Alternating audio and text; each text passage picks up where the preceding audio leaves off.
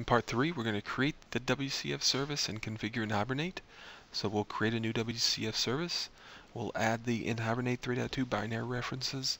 We'll create a customer class. We'll create an NHibernate base class which contains our NHibernate configuration. And then we'll create a method to retrieve data using NHibernate and then we'll test the service uh, from within Vid uh, Visual Studio 2010. So next let's add a WCF project to our current solution, WCF service application. I want to call it WCF NH5. And then the first thing I want to do is I want to add my NHibernate references.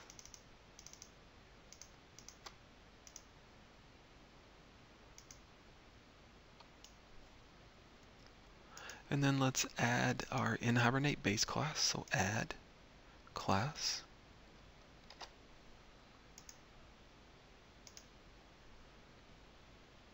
Then we can add our using statements as well.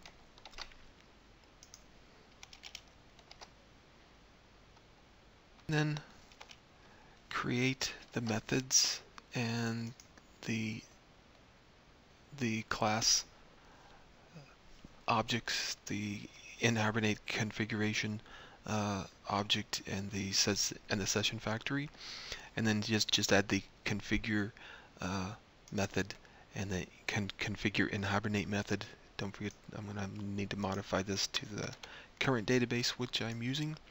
Uh, the configure it contains which which a driver that we are going to use uh, and the isolation level. There's lots of different attributes that you can use. Uh, and then also uh, the H the mapping by code functionality. We're going to create the customer class in the next step, but basically these three uh, methods and those two uh, objects we need to create in the NHibernate base class. Let's exit out of our NHibernate base class and we'll add our another class that's called customer. We'll add our NHibernate directives. And then we'll modify our class to look like this. Basically uh, elements to contain our to create our class and then the class mapping which is used by NHibernate to map uh, our objects to our database tables. So let's close down the customer class and then I like to delete these and create my own. So let's delete those. And then we'll create a new WCF service. So add new item and scroll down until we find WCF service. And I'm going to call it just NH.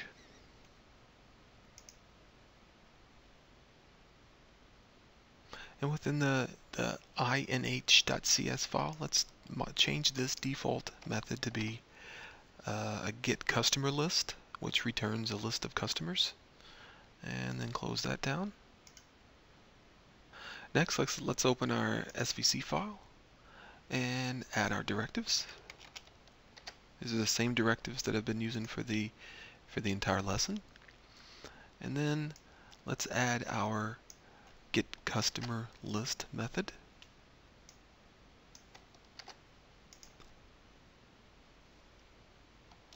And then basically what this uh, method does is it it uses our NHibernate base class and con configures NHibernate for us.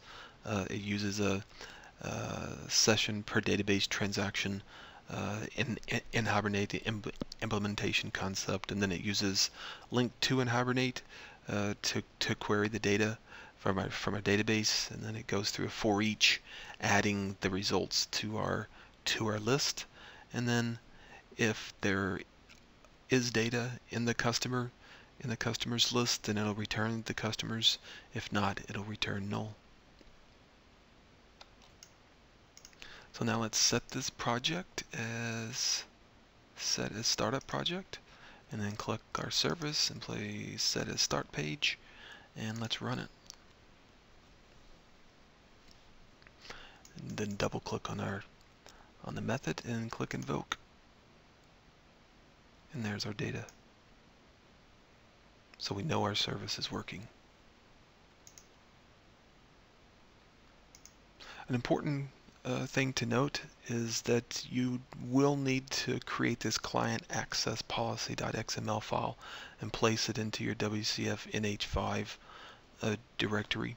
It's it's going to be required for the Silverlight uh, application to call this a WCF service. In part 4, we're going to create our Silverlight 5.0 application and consume the WCF uh, service that we created in part 3.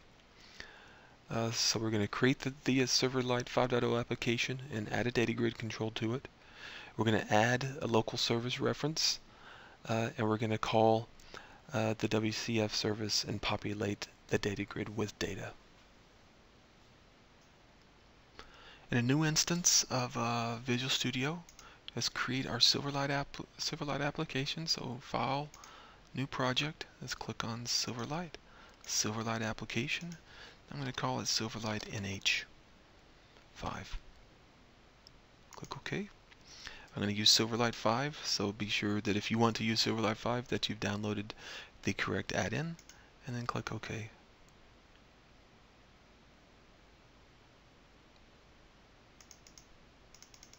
So let's add a data grid. Go to into our toolbox, drag and drop it to, to where we want it.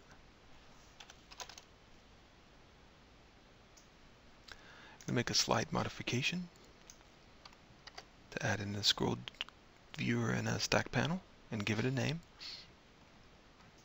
So next let's add our service reference. Right click on references, add service reference, and this is the address of the WCF uh, on the local host within a, vid a Visual Studio. It's the it's a local host one. So click go. Click on it. You see we have the get customer, and, and let's just for sim simplicity we'll leave it as service reference one, and let's click OK.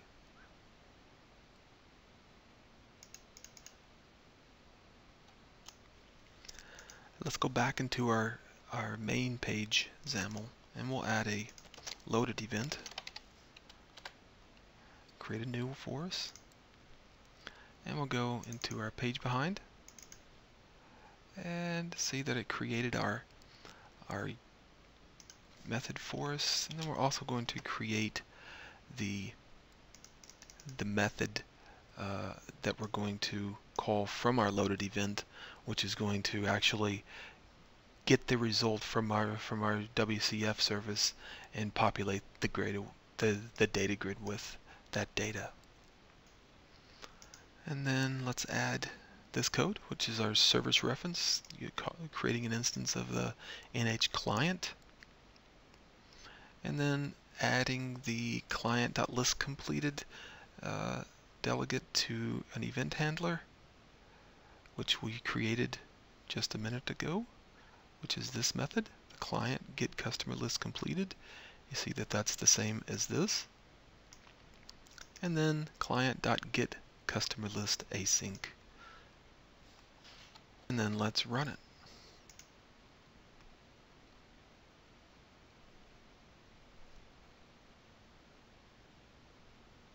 There you go.